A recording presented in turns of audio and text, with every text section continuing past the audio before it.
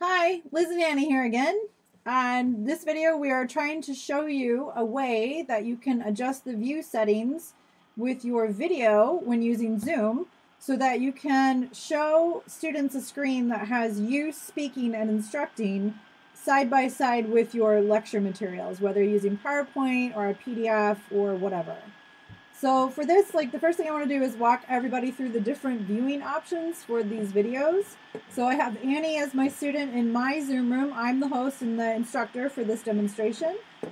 And up here you have a button when you're in a Zoom room, whether you're the host or not, that lets you toggle between different views. So right now I have it on speaker view. No, excuse me, I have it on gallery view. It shows you the option for the one that you're not on, so you can click on it and change it. When I clicked on it, it changed to speaker view, so that's what I'm in right now. And so Annie is muted and not talking on this video right now, but if she were speaking, the video that I see on my screen would switch between me and whoever was speaking. So this is a way to like make people kind of nauseous if a lot of people are talking on one of these meetings. I would recommend, we would recommend that you use gallery view if it's important to see a bunch of people's videos, like for your TA's discussion sections, this would be important. Um, when you're just lecturing and you don't necessarily want 100 or 200 or 300 or 600 people's videos kind of like uh, bumping you from the top or like interrupting you every time somebody rustles a paper or like drops a pen or coughs or clears their throat or something, what you can do is uh, two things. You can go in and manage participants. You can mute all. So it doesn't matter how many people in your room, you can mute everybody all at once and then they can unmute themselves. Or like I'll do it. I can uncheck this. So if I really wanted to, I could say everyone's muted and no one's allowed to unmute. So that might be a good idea, especially for the bigger lectures.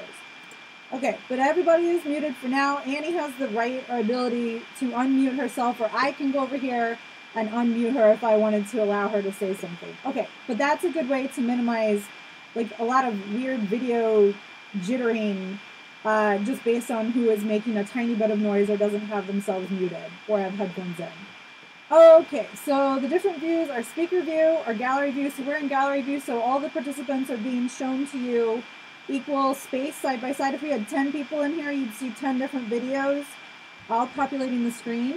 What I also, we want to recommend that you do is have your students go in. Everyone has to do this, unfortunately, from their side as the user.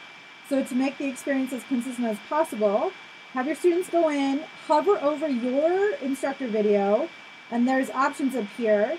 So I don't think participants are able to mute the instructor. They won't see this, but there's this three dot button. Click on that. And students can pin a video. So I had mine pinned. I can unpin it. And then when I click on it again, I can pin it. So what that does, whether I'm in gallery view or speaker view, is make my window, my video, the predominant default one. So it won't toggle or jitter back and forth depending on who's speaking.